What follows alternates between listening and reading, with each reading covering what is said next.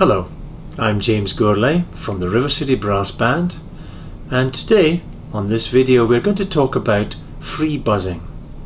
In the last video we practiced buzzing with the mouthpiece but buzzing without the mouthpiece, as we Scottish braveheart people might say, gives you a lot of freedom.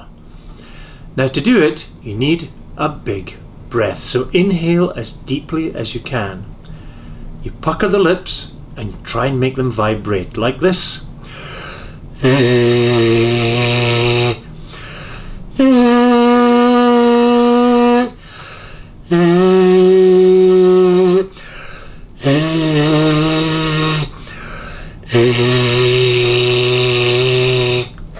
Try to keep as wide an aperture here as you possibly can, allowing a great deal of air to pass over the lips, making them vibrate.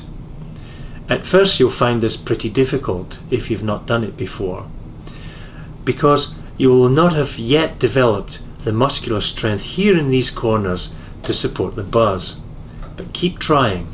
Try it about three minutes every day and you'll soon find that you develop the technique. Breathe deeply, pucker the lips and go, a bit like whistling.